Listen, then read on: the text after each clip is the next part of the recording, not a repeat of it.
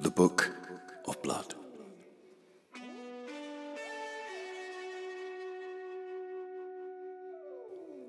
The dead have highways. They run unerring lines of ghost trains, of dream carriages, across the wastelands behind our lives, bearing an endless traffic of departed souls.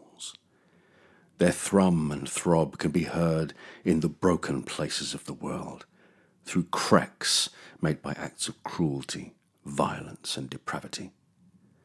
Their freight, the wandering dead, can be glimpsed when the heart is close to bursting, and sights that should be hidden come plainly into view.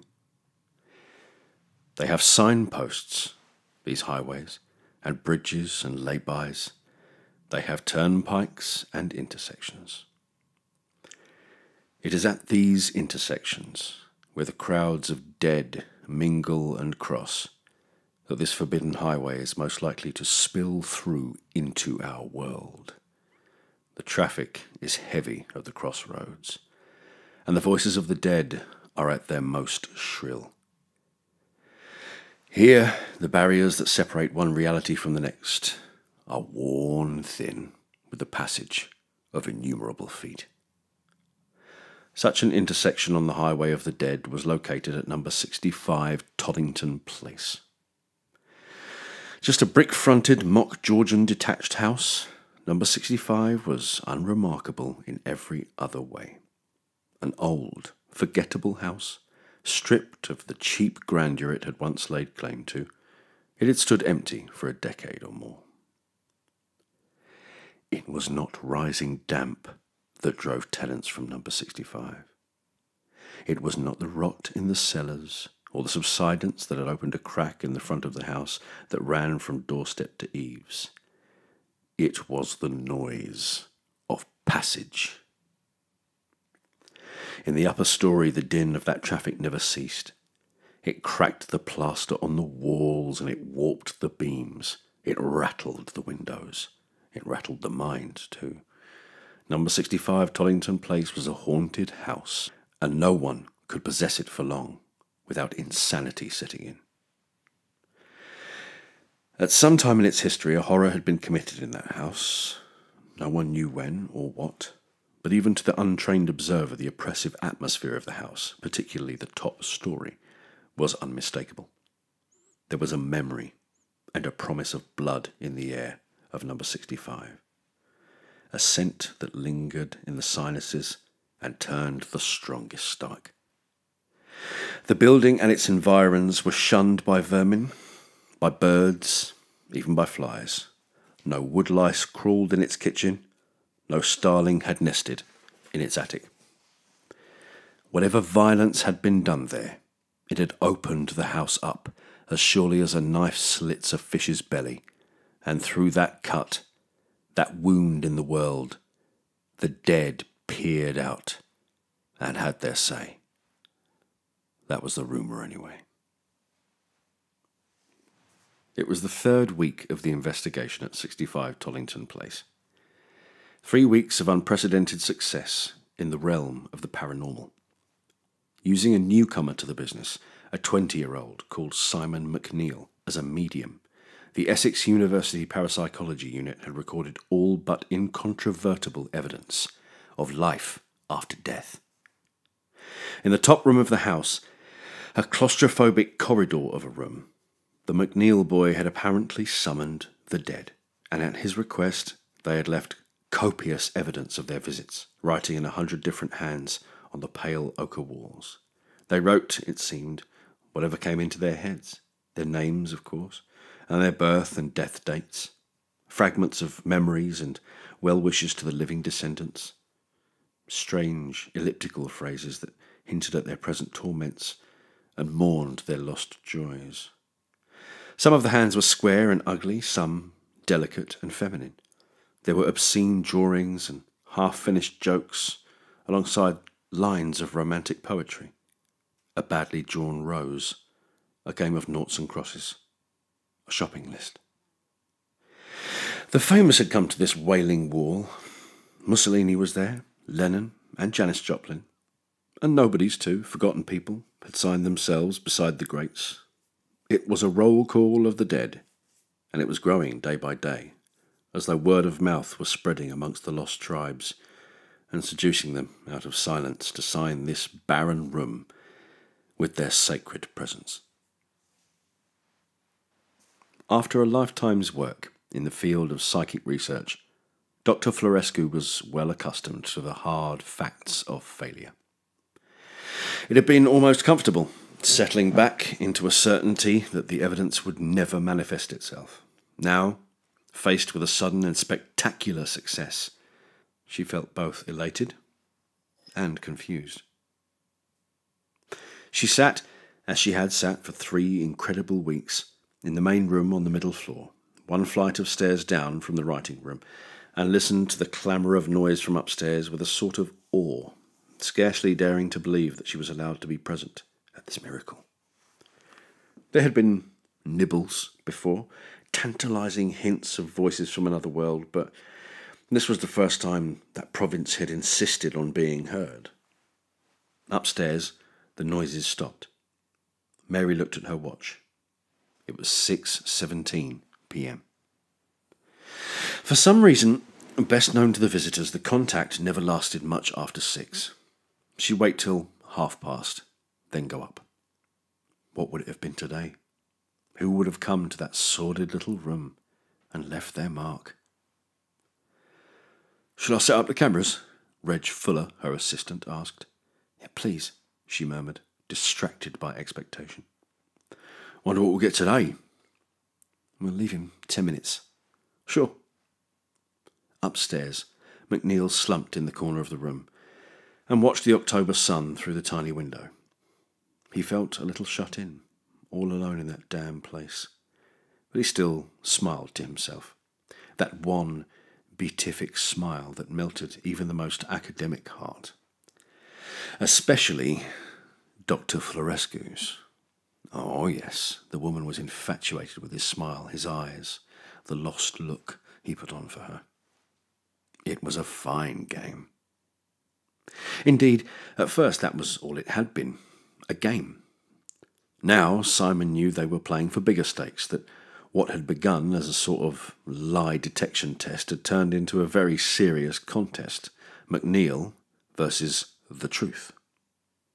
The truth was simple he was a cheat. He penned all his ghost writings on the wall with tiny shards of lead he secreted under his tongue.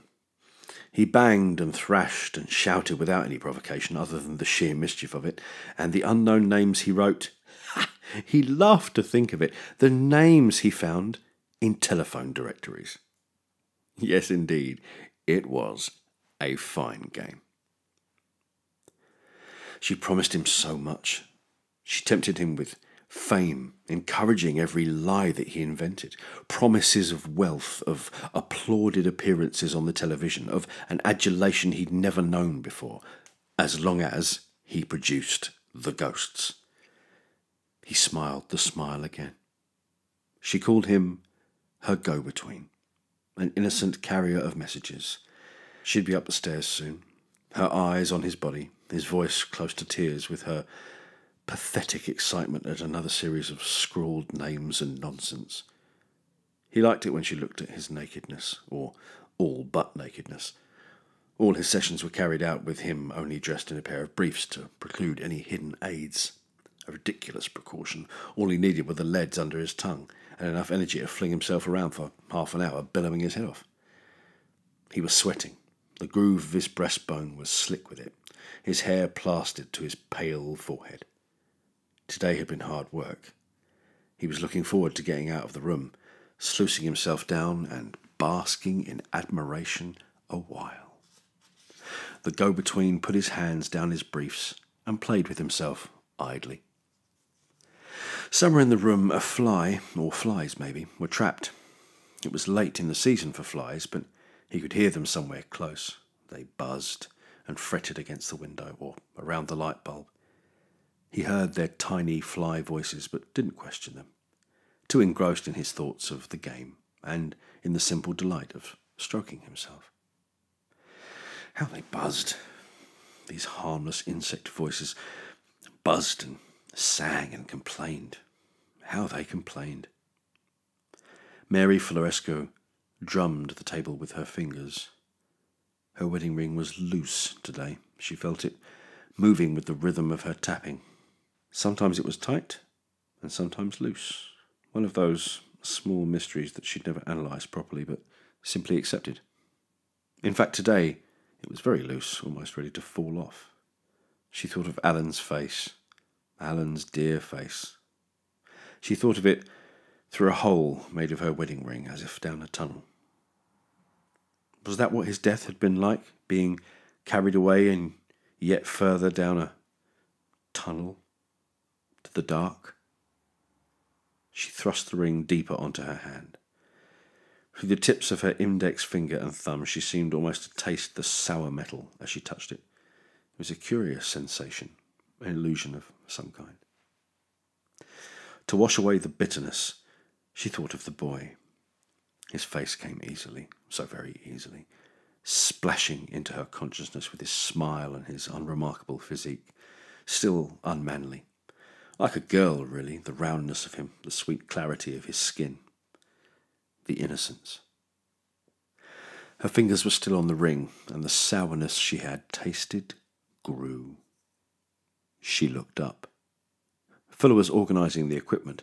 Around his balding head, a nimbus of pale green light shimmered and wove. She suddenly felt giddy. Fuller saw nothing and heard nothing. His head was bowed to his business, engrossed. Mary stared at him still, seeing the halo on him, feeling new sensations waking in her, coursing through her. The air seemed suddenly alive. The very molecules of oxygen, hydrogen, nitrogen jostled against her in an intimate embrace. The nimbus around Fuller's head was spreading, finding fellow radiance in every object in the room. The unnatural sense in her fingertips was spreading too. She could see the colour of her breath as she exhaled it, a pinky orange glamour in the bubbling air. She could hear, quite clearly, the voice of the desk she sat at, the low whine of its solid presence. The world was opening up, throwing her senses into an ecstasy, coaxing them into a wild confusion of functions. She was capable, suddenly, of knowing the world as a system, not of politics or religions, but as a system of senses, a system that spread out from the living flesh to the inert wood of her desk, to the stale gold of her wedding ring, and further, beyond wood, beyond gold, the crack opened that led to the highway. In her head, she heard voices that came from no living mouth. She looked up, or rather, some force thrust her head back violently, and she found herself staring up at the ceiling. It was covered with worms. No, that was absurd. It seemed to be alive, though maggoty with life, pulsing, dancing. She could see the boy through the ceiling. He was sitting on the floor with his jutting member in his hand. His head was thrown back like hers. He was lost in his ecstasy as she was. Her new sight saw the throbbing light in and around his body, traced the passion that was seated in his gut, and his head molten with pleasure it saw another sight the lie in him, the absence of power where she thought there had been something wonderful. He had no talent to commune with ghosts, nor ever had. She saw this plainly. He was a little liar, a little boy liar, a sweet white boy liar without the compassion or the wisdom to understand what he had dared to do. Now it was done. The lies were told, the tricks were played, and the people on the highway, sick beyond death of being misrepresented and mocked, were buzzing at the crack in the wall, demanding satisfaction. That crack she had opened, she had unknowingly fingered and fumbled at, unlocking it by slow degrees her desire for the boy had done that. Her endless thoughts of him, her frustration, her heat, and her disgust at her heat had pulled the crack wider. Of all the powers that made the system manifest, love and its companion, passion, and their companion, loss, were the most potent. Here she was, an embodiment of all three, loving and wanting and sensing acutely the impossibility of the former two, wrapped up in an agony of feeling which she had denied herself, believing she loved the boy simply as her go between. It wasn't true. It wasn't true. She wanted him, wanted him now, deep inside her, except that now it was too late. The traffic could be denied no longer. It demanded, yes, it demanded access to the little trickster. She was helpless to prevent it. All she could do was utter a tiny gasp of horror as she saw the highway open out before her and understood that this was no common intersection they stood at. Fuller heard the sound. Doctor? He looked up from his tinkering, and his face, washed with a blue light she could see from the corner of her eye, bore an expression of inquiry. Did you say something? he asked. She thought, with a fill up of her stomach, of how this was bound to end. The ether faces of the dead were quite clear in front of her. She could see the profundity of their suffering, and she could sympathize with their ache to be heard. She saw plainly that the highways that crossed at Tollington Place were not common thoroughfares. She was not staring at the happy idling traffic of the ordinary dead. No, that house opened onto a route walked only by the victims and perpetrators of violence the men, the women, the children who had died enduring all the pains nerves had wit to muster, with their minds branded by the circumstances of their deaths. Eloquent beyond words, their eyes spoke their agonies, their ghost bodies still bearing the wounds that had killed them. She could also see, mingling freely with the innocents, their slaughterers and tormentors, these monsters, frenzied, mush minded bloodletters, peer through into the world. None such creatures, unspoken, forbidden miracles of our species, chattering and howling their Jabberwocky. Now the boy above her sensed them. She saw him turn a little in the silent room, knowing that the voices he heard were not fly voices. The complaints were not insect complaints. He was aware, suddenly, that he had lived in a tiny corner of the world, and that the rest of it, the third, fourth, and fifth worlds, were pressing at his lying back, hungry and irrevocable. The sight of his panic was also a smell and a taste to her. Yes, she tasted him as she had always longed to, but it was not a kiss that married their senses. It was his growing panic. It filled her up. Her empathy was total. The fearful glance was hers as much as his. Their dry throats rasped the same small word. Please, that the child learns. Please, that wins care and gifts. Please, that even the dead, surely, even the dead must know and obey. Please. Today, there would be no such mercy given. She knew for certain. These ghosts had despaired on the highway a grieving age, bearing the wounds they had died with and the insanities they had slaughtered with. They had endured his levity and insolence, his idiocies, the fabrications that had made a game of their ordeals. They wanted to speak the truth. Fuller was peering at her more closely, his face now swimming in a sea of pulsing orange light. She felt his hands on her skin. They tasted of vinegar. Are you all right? he said, his breath like iron. She shook her head. No, she was not all right. Nothing was right. The crack was gaping wider every second. Through it she could see another sky, the slate heavens that lowered over the highway. It overwhelmed the mere reality of the house. Please, she said, her eyes rolling up to the fading substance of the ceiling. Wider, wider. The brittle world she inhabited was stretched to breaking point. Suddenly, it broke like a dam, and the black waters poured through, inundating the room. Fuller knew something was amiss. It was in the colour of his aura, the sudden fear. but he didn't understand what was happening. He felt his spine ripple. She could see his brain whirl. What's going on? he said. The pathos of the inquiry made her want to laugh. Upstairs, the water jug in the writing room shattered. Fuller let her go and ran towards the door. It began to rattle and shake even as he approached it, as though all the inhabitants of hell were beating on the other side. The handle turned and turned and turned. The paint blistered. The key glowed red hot. Fuller looked back at the doctor, who was still fixed in that grotesque position, head back, eyes wide. He reached for the handle, but the door opened before he could touch it. The hallway beyond had disappeared altogether. Where the familiar interior had stood, the vista of the highway stretched to the horizon. The sight killed Fuller in a moment. His mind had no strength to take the panorama in. It could not control the overload that ran through his every nerve. His heart stopped, a revolution overturned the order of his system. His bladder failed, his bowels failed, his limbs shook and collapsed.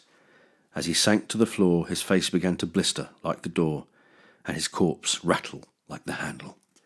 He was inert stuff already, as fit for this indignity as wood or steel. Somewhere to the east, his soul joined the wounded highway on its route to the intersection where a moment previously he had died. Mary Florescu knew she was alone. Above her, the marvellous boy, her beautiful, cheating child, was writhing and screeching as the dead set their vengeful hands on his fresh skin. She knew their intention. She could see it in their eyes. There was nothing new about it. Every history had this particular torment in its tradition. He was to be used to record their testaments. He was to be their page, their book, the vessel for their autobiographies. A book of blood. A book made of blood. A book written in blood. She thought of the grimoires that had been made of dead human skin. She'd seen them, touched them. She thought of the tattoos she'd seen, freak show exhibits, some of them, others just shirtless labourers in the streets with a message to their mothers pricked across their backs. It was not unknown to write a book of blood. But on such skin, on such gleaming skin, oh God, that was the crime. He screamed as the torturing needles of broken jug glass skipped against his flesh, ploughing it up she felt his agonies as if they had been hers, and they were not so terrible. Yet he screamed and fought and poured obscenities out at his attackers. They took no notice.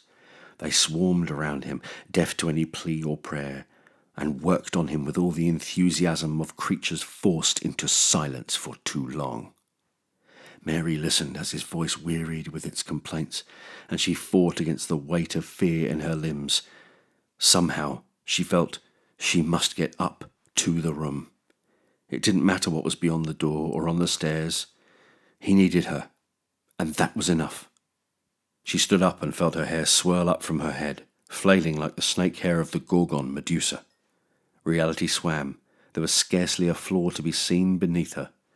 The boards of the house were ghost wood, and beyond them a seething dark raged and yawned at her. She looked at the door feeling all the time a lethargy that was so hard to fight off. Clearly, they didn't want her up there. Maybe, she thought, they even fear me a little. The idea gave her resolution. Why else were they bothering to intimidate her unless her very presence, having once opened this hole in the world, was now a threat to them? The blistered door was open.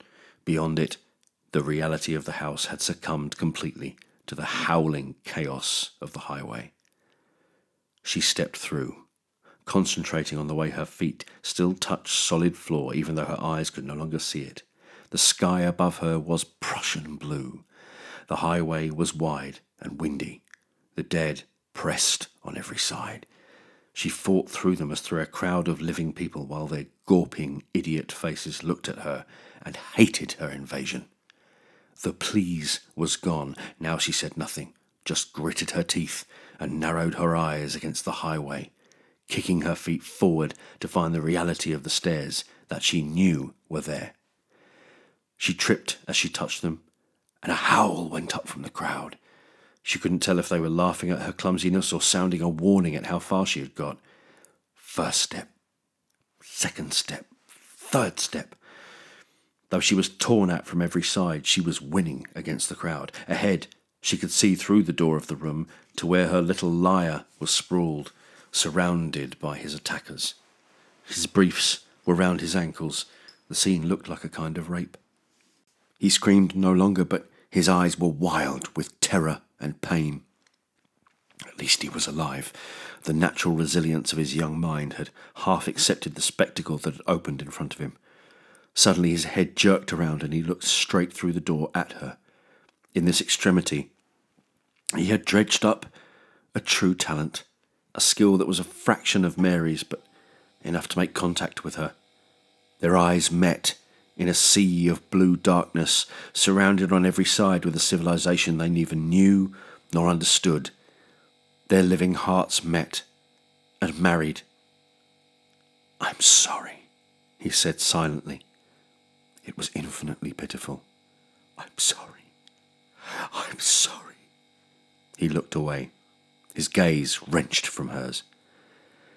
She was certain she must be almost at the top of the stairs, her feet still treading air as far as her eyes could tell, the faces of the travellers above, below, and on every side of her, but she could see, very faintly, the outline of the door and the boards and beams of the room where Simon lay.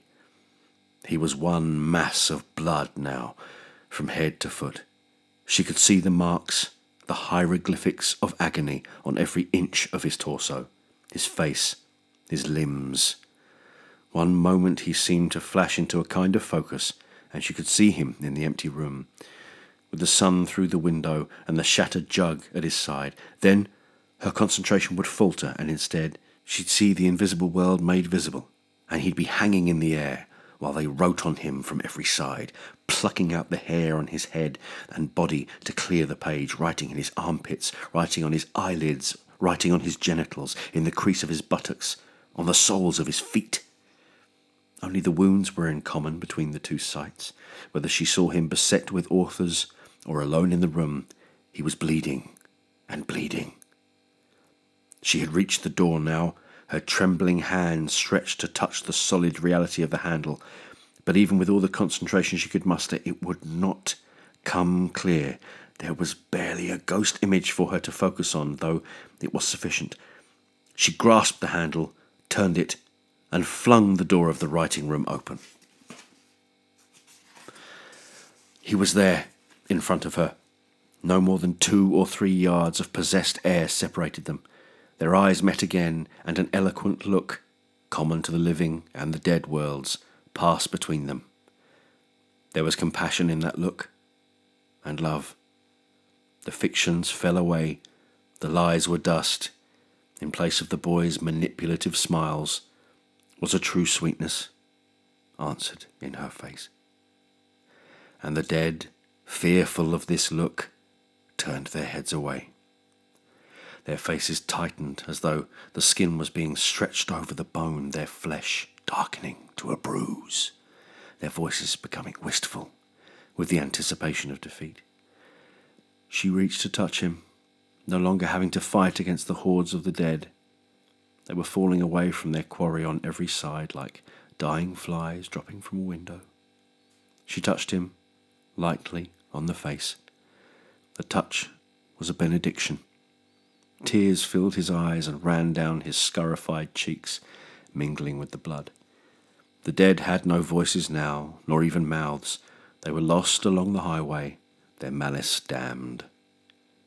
Plane by plane, the room began to re establish itself. The floorboards became visible under his sobbing body, every nail, every stained plank. The windows came clearly into view, and outside the twilight street was echoing with the clamour of children. The highway had disappeared from living human sight entirely. Its travellers had turned their faces to the dark and gone away into oblivion, leaving only their signs and their talismans in the concrete world. On the middle landing of number 65, the smoking, blistered body of Reg Fuller was casually trodden by the travellers' feet as they passed over the intersection. At length, Fuller's own soul came by in the throng and glanced down at the flesh he had once occupied before the crowd pressed him on towards his judgment. Upstairs, in the darkening room, Mary Florescu knelt beside the McNeil boy and stroked his blood plastered head. She didn't want to leave the house for assistance until she was certain his tormentors would not come back. There was no sound now but the whine of a jet finding its way through the stratosphere to morning. Even the boy's breathing was hushed and regular. No nimbus of light surrounded him. Every sense was in place sight, sound, touch, touch. She touched him now, as she had never previously dared, brushing her fingertips oh so lightly over his body, running her fingers across the raised skin like a blind woman reading Braille. There were minute words on every millimetre of his body, written in a multitude of hands. Even through the blood, she could discern the meticulous way that the words had harrowed into him. She could even read, by the dimming light, an occasional phrase.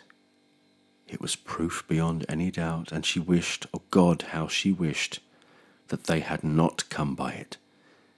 And yet, after a lifetime of waiting, here it was the revelation of life beyond flesh, written in flesh itself. The boy would survive, that was clear. Already the blood was drying and the myriad wounds healing. He was healthy and strong, after all, there would be no fundamental physical damage. His beauty was gone forever, of course. From now on, he would be an object of curiosity at best, and at worst, of repugnance and horror. But she would protect him, and he would learn in time how to know and trust her. Their hearts were inextricably tied together. And after a time, when the words on his body were scabs and scars, she would read him. She would trace, with infinite love and patience, the stories the dead had told on him. The tale on his abdomen, written in a fine cursive style, the testimony in exquisite, elegant print that covered his face and scalp, the story on his back, and on his shin, and on his hands.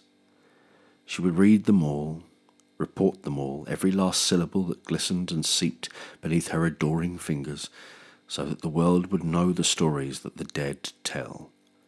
He was a book of blood, and she his sole translator. As darkness fell, she left off her vigil and led him, naked, into the balmy night. Here, then, are the stories written on the Book of Blood. Read, if it pleases you, and learn. They are a map of that dark highway that leads out of life towards unknown destinations. Few will have to take it. Most will go peacefully along lamplit streets, ushered out of living with prayers and caresses. But for a few, a chosen few, the horrors will come, skipping to fetch them off to the highways of the damned. So read. Read and learn. It's best to be prepared for the worst, after all, and wise to learn to walk before breath runs out.